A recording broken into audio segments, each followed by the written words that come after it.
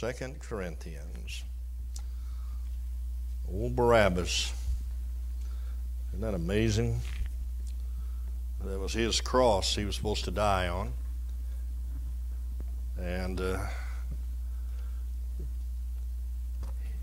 he went free, and uh, Jesus died for him, died in his place, just like he did for you and me. All right, Second Corinthians. And uh, we're going to start with uh, chapter 1. And um, I have no intention of trying to finish this book of Corinthians, nor do I have time, since I only have about four more or five more weeks left. I'm almost down to counting the hours now, but uh, I'm still getting paid a little bit, so I ought to do something, I guess. So, um, First Corinthians or Second Corinthians, chapter um, one. We'll read a few verses and have a word of prayer, and then we'll say some things about this portion. Paul, an apostle of Jesus Christ by the will of God, and Timothy, our brother, unto the church of God which is at Corinth with all the saints which are in Achaia, all Achaia, that is uh, in Greece. Grace be unto you, and peace from God our Father and from the Lord Jesus Christ. Blessed be the God, even the Father of our Lord Jesus Christ, the Father of mercies, the God of all comfort, who comforteth us in all of our uh, tribulation, that we might be able to comfort them that are in any trouble by the comfort wherewith we ourselves are comforted of God.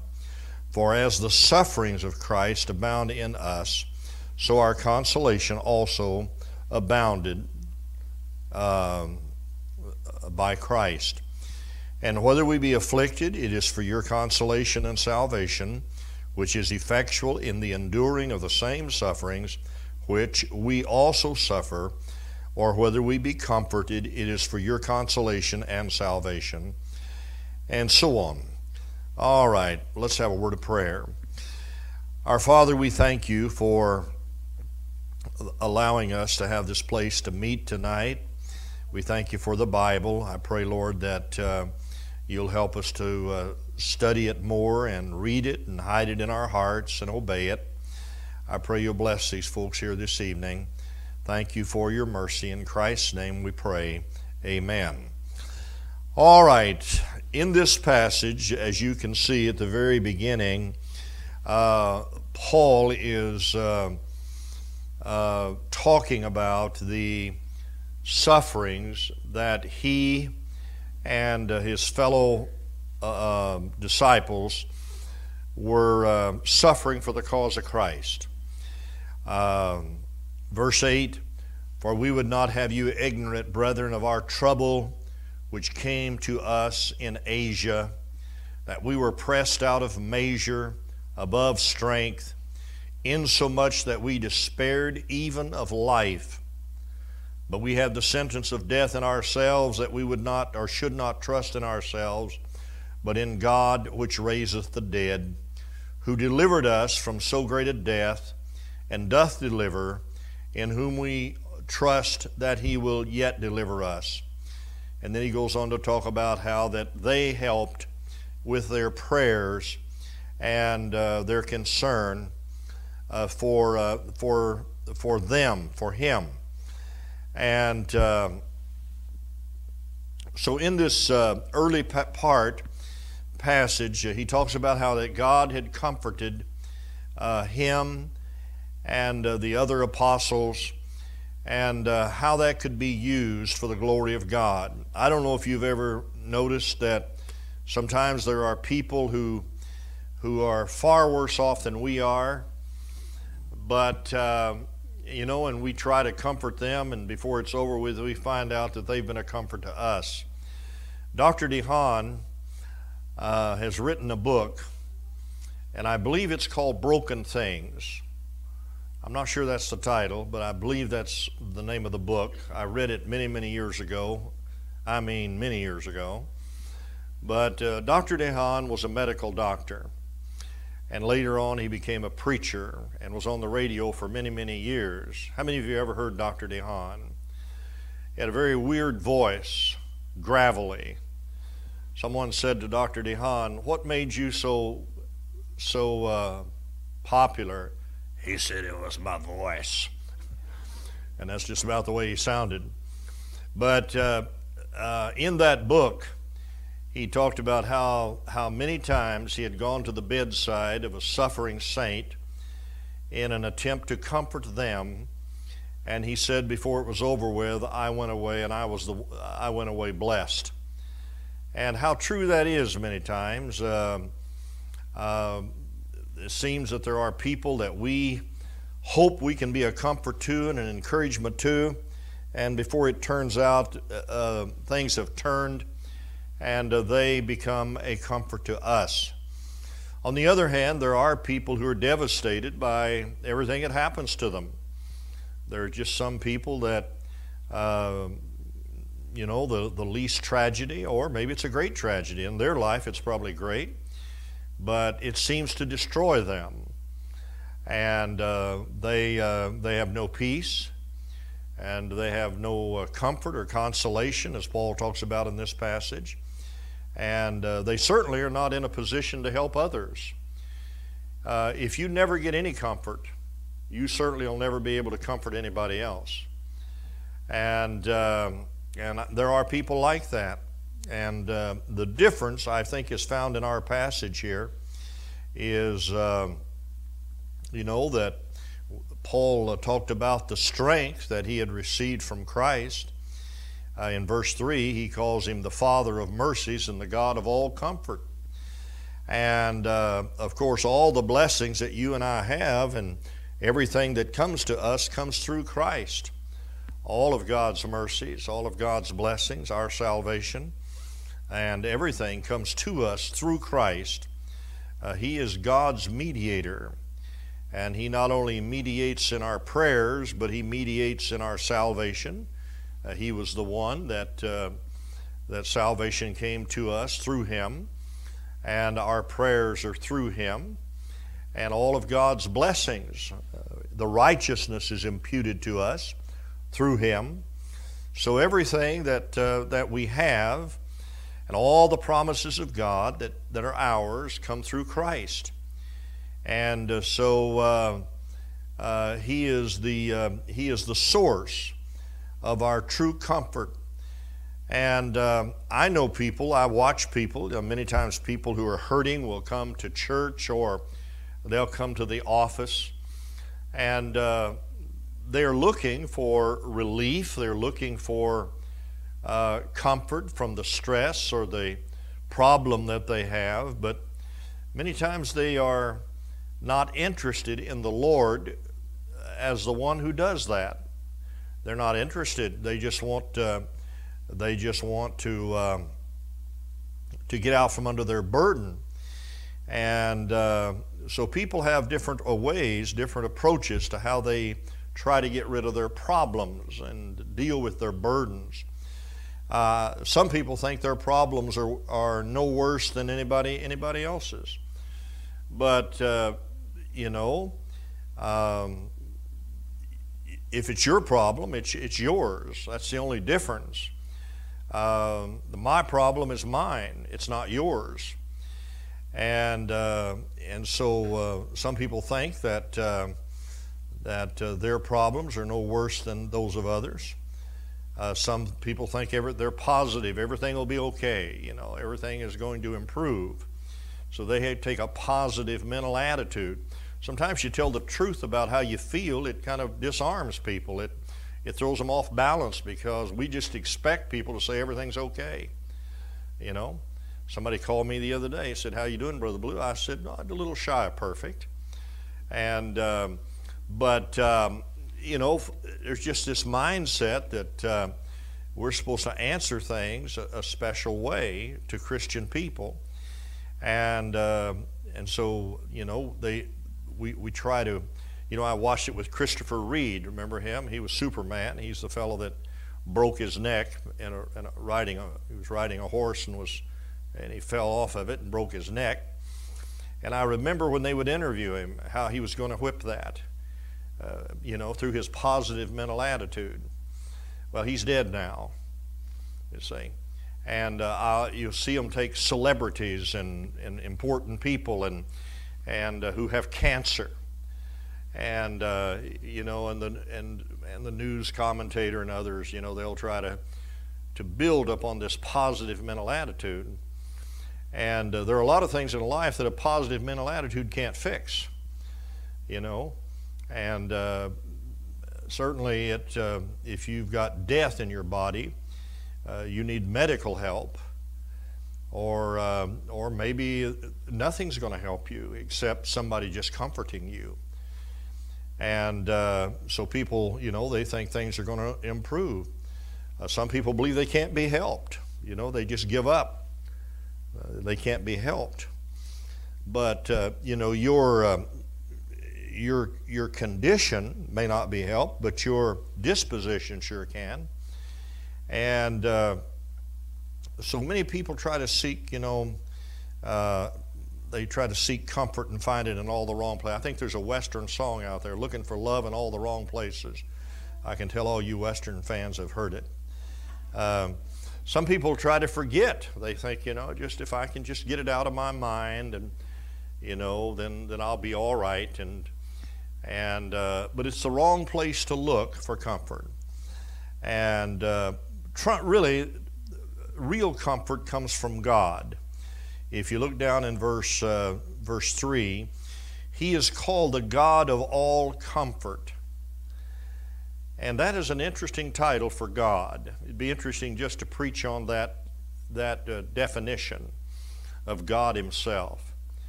He is the God of all comfort. And uh, He was that kind of God in the Old Testament. You don't have a different, God didn't change from the Old to the New Testament. He didn't change His disposition, He didn't change His nature, His attributes. He's always been the God of all comfort. And um, when you think about it, uh, his very first act was to clothe and comfort Adam and Eve. Uh, they were naked, they had disobeyed God, and uh, he said, In the day you eat thereof, you'll die. But God uh, comforted them and loved them and provided everything for them. Now, they did die because they, they disobeyed God. But from the very beginning, God is a God of comfort. Uh, David strengthened himself in the Lord because he knew the Lord. And uh, so Paul calls him the God of all comfort. Uh, the reason he's the God of all comfort is, if you look a little bit further there, he is the Father of mercies. He's the Father of mercies. That's in verse 3. And uh, the word Father in this context implies source. Uh, he is the source of all mercies. Let me tell you what happened today. That just, just came to my mind.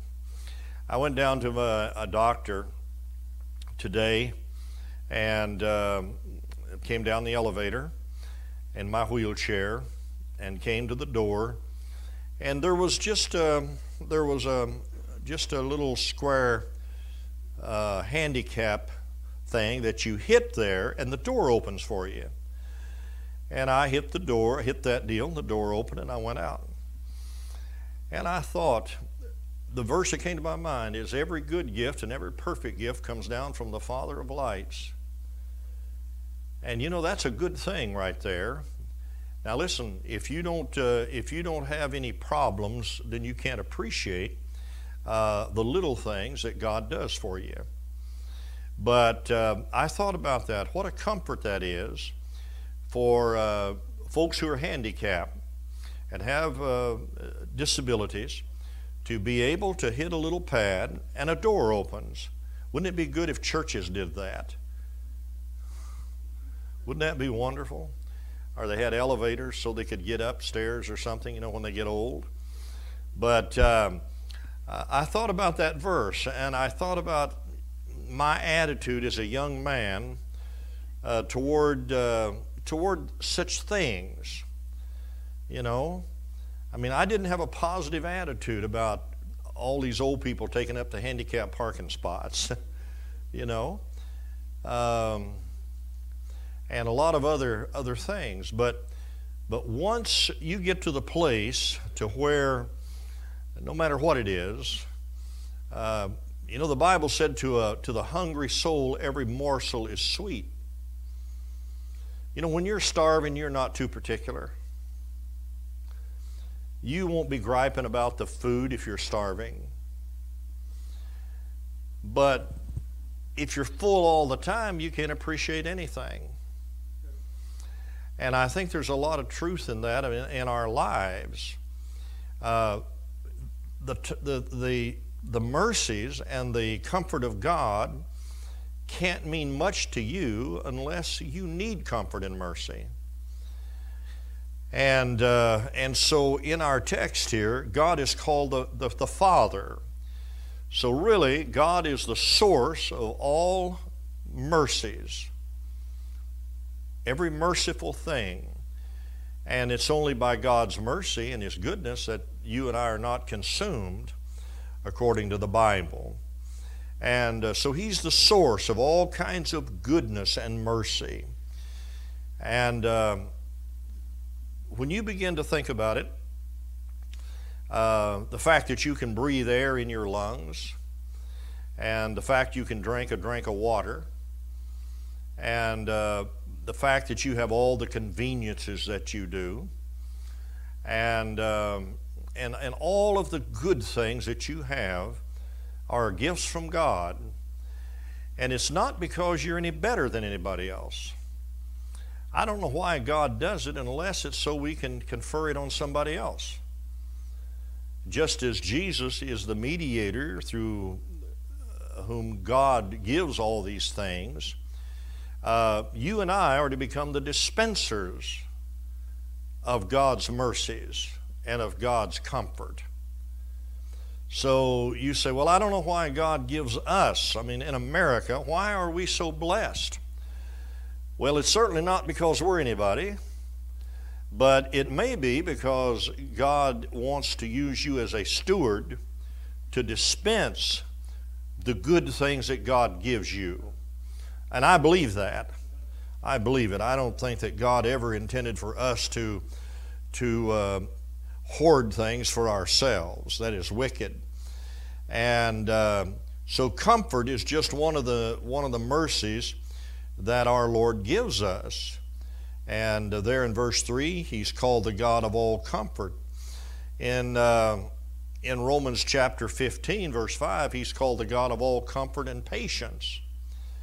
And, uh, and so uh, God is patient with you and me, He's long suffering. And um, He waits on us. He waits on us he waits on you to grow up. He waits on you to learn. He waits on you to, uh, to make a change. And, uh, and so He waits on you. He gives you time. We're very impatient people, but God is not, God is not, uh, not at all impatient uh, with His people. Uh, the Bible says one day with the Lord is a thousand years, and a thousand years is a day. Now, if you look at verse um, 4, uh, he usually he gives us this comfort when it is most needed who comforteth us in all our tribulation. Now listen to me carefully. If you aren't having any tribulation you don't need any comfort.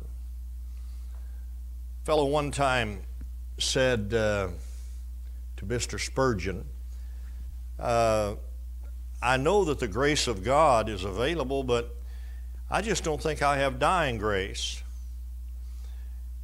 And Spurgeon said, Are you dying? And the fellow said, No. He said, Then you don't need it. You know, we got a lot of people praying for the power of God, but they're praying for it for display. Uh, the power of God may come in a way that you, you might not imagine. You know, we think it's the top blowing off, but it may be the bottom of our self sufficiency falling out.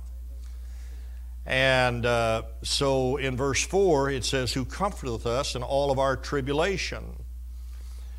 And uh, that's why Paul could rejoice in tribulation. Paul got to the place spiritually to where he said, I take pleasure in opposition. I take pleasure in those things. Now, why? Because he knew the grace of God that would come to him. And, uh, you know, that's what you can do. You can, uh, when, when you have some kind of a, of a, of a any kind of an, an issue, tribulation or sickness or uh, somebody giving you a fit, um, the best thing to do is wait on God. And, uh, and if, you know, if you, uh, if you get ornery, God can't bless you anymore. So you need to stay right with God in these matters, no matter what they are. And uh, the Lord said, Vengeance is mine, I will repay. And so we need to leave, you know, make sure we leave that up to Him. But when we're in some kind of opposition or we're in some kind of uh, um, tragedy or illness, uh, then is when we are able to experience the comfort of God. And uh, you know, you know, it probably sounds foolish to some of you, but you know, over the uh, the months, over the months, the least little thing uh, that that is comforting or that is uh, makes my life easier or uh, somebody tries to do for me is magnified a hundredfold. You understand? I couldn't understand it before. I wasn't in a position to appreciate it nor was I in a position to need it. But you have to have, you have to have um, tribulation in your life if you are going to have God's comfort in your life. And, uh, and if you're going to be able to, uh, uh, to, uh, to appreciate it. In verse 5, it says, for as the sufferings of Christ abounded in us. Now, Paul is talking about the suffering that he and his fellow believers were going through as they tried to get the gospel out. And he said, The suffering of Christ abounded in us. And uh, everywhere we went, it was prison, or it was stoning, or it was whipping, or it was people, uh, you know, um, uh, mistreating him for the cause of Christ. Look at verse 8 again. For, brother, we would not have you ignorant of our trouble that came upon us in Asia, that we were pressed out of measure.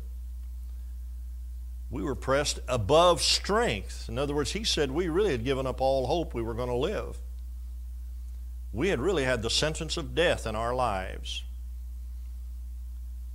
In other words, we came, we came to the place to where there was absolutely no hope and nowhere to look. I don't think anybody in this room has been in that position yet. Maybe you have. But um, he said that uh, we despaired even of life.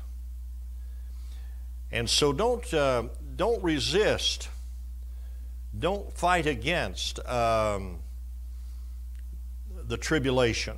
Don't fight against the things that God would bring into your life because God wants to do more for you. And uh, He wants to show you some things. And you certainly cannot see them if you're not standing in the right place.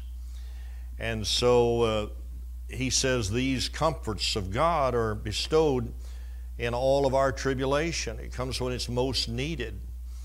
And that is seen, uh, seen throughout the Bible. The Lord has said in Hebrews, I will never leave thee nor forsake thee. He said, I'll never leave you. And you take that by faith. He said, I'll never leave you. So, you know, if you're in a hospital bed somewhere with cancer, the Lord's promise is still good. He said, I'll never leave you. He said, I'll never leave you. I'll never forsake you. And I believe that. I believe that. And you know what that is when you believe it? It's a comfort. Sometimes the best comfort is not talking to people. Sometimes the best comfort is just being silent. Folks who are trained in the area of working with suffering people in the hospital and different places, they will tell you that many times just your presence sitting in the room, you're just sitting there in the room, is all the comfort an individual needs. You don't need to have to, you don't have to carry on a conversation with them. And they may not feel like talking, but they don't want you to leave. They just your very presence of being there is a comfort to them. I remember as a, as a boy, this is going to sound kind of weird, but it wasn't weird. But when I was a little boy, before my mother, my mother married my stepdad, I slept with my mother. Now that's not an uncommon thing down south. Cousins and everybody sleep together. So, but uh, but I was just I was a little kid, but I you know I wasn't a baby, I wasn't an infant. But I remember this. And I remember one night I was laying in bed and uh, it was dark. And uh, I said, uh, I reached my hand over my mother's face to feel her face. And I said, uh, I asked her, I said, Mom, have you got your eyes open? She said, Yes. And I don't remember what else I said. But I know now why I said that. I was just a little boy in the dark. And if my mother had her eyes open, even in the dark, I felt secure. Does that make sense to you? Well, we need to get that sense in the time of trouble of the presence of Jesus Christ. His eyes are always open. He that keepeth Israel will never sleep or slumber. The night is as the light unto him. And but that presence would give you comfort. Lord, I know you're here and I know you got your eyes open and you see everything that's going on. And uh, you know that's that is a great comfort to know that that he'll never that he never leaves you. You know, here's another thing that the Lord promised is that he said, I want to allow you to be tempted above that you are able to bear it, but will with the temptation also make a way of escape. So the Lord never sends you or me anything that He doesn't provide the grace for us to get through it. And I don't, it doesn't matter, it doesn't matter what it is.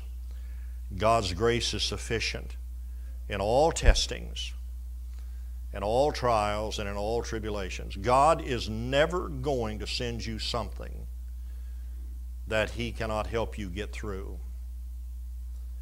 Now, you may think at the time, you know, you have a little child that gets killed or something. I mean, I don't know of anything that could, I don't, I don't know what could be worse than having a little four or five year old child. You know, I, I know dads that have backed out of the driveway and their kids were playing and they backed over them and killed them. I don't know of anything could be more tragic than that. I don't know how anything could be more tragic than walking out to the swimming pool and seeing your little four year old laying at the bottom of the pool. But I know people that's happened to. I don't know what could be more tragic than a little six year old boy getting his daddy's pistol and running from his sister who was trying to take it away from him, and he jumped on the bed, and the gun went off and shot him in the chest and killed him instantly. I don't know what could be more tragic to a parent than that. I don't know what it would be. Because that child is your life. It's like your heart being pulled out. My mother had many of those to happen to her. I don't know what could be more tragic than that. Maybe something could. Job lost all of his in one day. They were all at a birthday party in the house, and the wind came along, blew the house down on all of his kids, killed every one of them instantly. Could you imagine that? Could you imagine that? After all he was going through, And then somebody coming to you and saying, Your kids are all dead.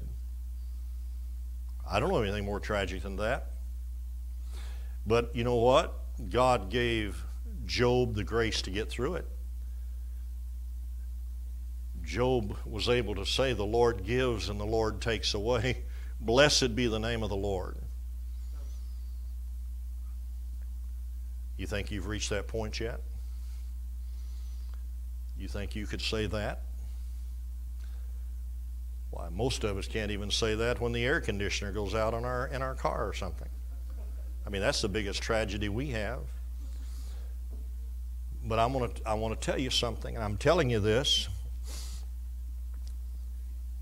You just want to stay alert because one of these days in your life, God is going to going to bring the big one. He's going to bring the big one. And uh, with it comes the grace to get through it. Doesn't mean it won't bring you to your knees. That's probably what ought to happen, don't you think? I mean, if it knocked you to your knees, that might be the best thing that could happen. You're going to feel like your heart's been torn out. You will want to die. You'll cry like David, Oh, would to God it was me instead of him. That's what any parent would say. But it wasn't David, it was his boy, Absalom. So God says that there is no temptation or trouble or trial that has taken you, but such as common to men. Everything that's happening to people in this room is happening to the folks in the next church, and the next church, and the next church. They're all the same. We're all the same. And uh, so uh, thank God that, you know, He bestows His grace and uh, He gives us the ability to bear it. That's what I pray for, for my wife and for myself. You know, that when I get to the place where I can't even turn over in bed, and I'm about halfway there now, but I can't even turn over in bed. I can't lift my legs or lift my arms. That I will take advantage of the grace of God and that my wife will also be comforted with God's presence and grace. You understand? He is the God of all comfort who comforteth us in all our tribulation. But we need to avail ourselves of it. We can fall apart and become bitter and have self pity and blame God or blame somebody else, or that nothing is good enough and nobody's treating you right. Or you can be thankful for every mercy and every act of kindness. I um,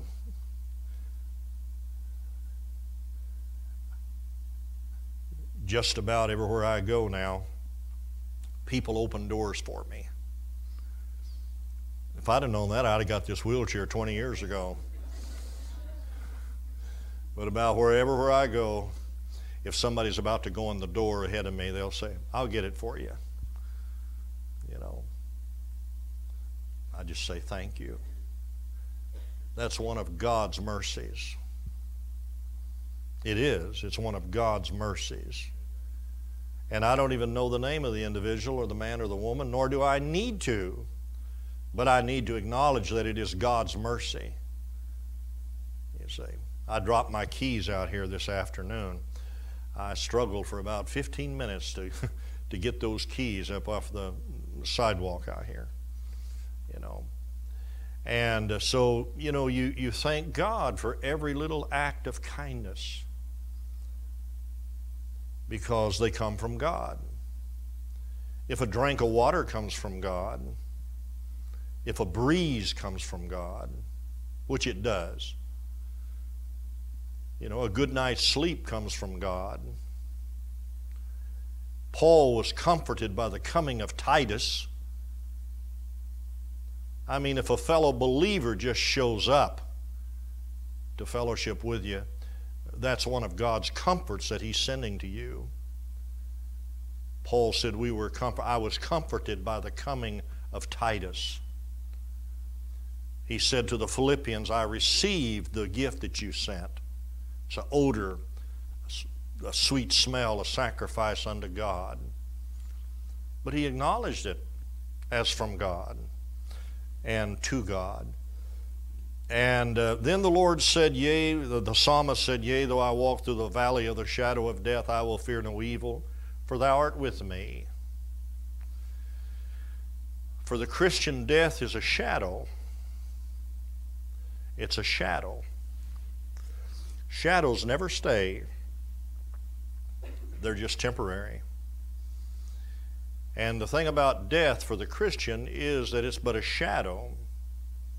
It's not, it's not eternal, it's not lasting. It's like taking a sleep, going to sleep.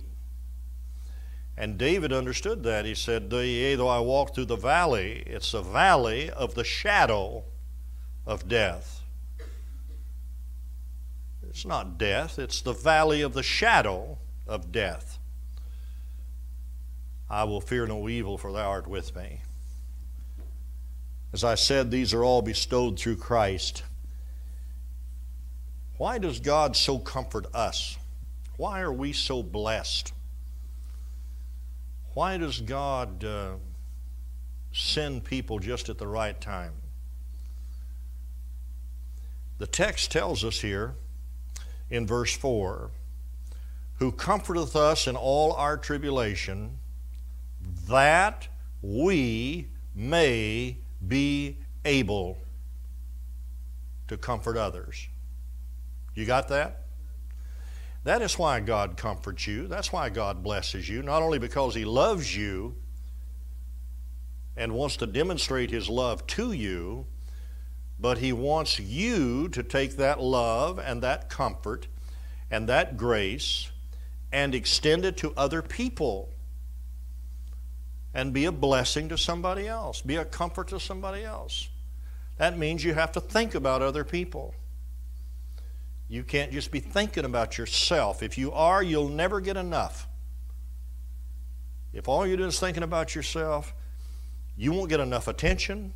You won't get enough of anything. But you know, you could get lost in helping other people. A woman said to Jack Hyles one time, she said, I think I'm just about to have a nervous breakdown, whatever that is. I've heard of a hoedown, but a breakdown, I guess that's a different kind of dance. But um, she said, I'm about to have a nervous breakdown. And Jack Hyles said, Well, let me suggest something to you. Do you know how to bake? She said, Yes, sir. He said, Why don't you make some cookies? And why don't you take those cookies over to the nursing home and you go from one room to the other and visit with the people in the nursing home and give them some cookies and pray with them and talk with them and see what God does for you. About a month later, he saw her in the hallway and he said, Oh, by the way, Mrs. Smith, how you coming on that breakdown? She said, Oh, I haven't had time to think about that. I've been too busy. See, she got her mind on helping other people. And that's what you have to do. You have to lose yourself in helping people, and you forget about yourself. And uh, that's, you know, and if you forget about yourself, uh, that's one of the ways God comforts you. You get your mind off of it. But He does this so we can comfort others. And, uh, you know, he, uh, he, wants us to, he wants us to help others. Uh, let's go to 2 Corinthians here in chapter 7, and we'll look at a couple of verses and we'll be through. Verse 6, chapter uh, 7, verse 6. And uh, look at verse, uh, well, 7 4. Great is my boldness of speech toward you, Corinthians. Great is my glorying of you. I am filled with comfort. I am exceeding joyful in all our tribulation. Why? For when we came to Macedonia, our flesh had no rest, but we were troubled on every side. Without were fightings, within were fears. That's Paul. Nevertheless, verse 6 God that comforteth those that are cast down, comforted us by the coming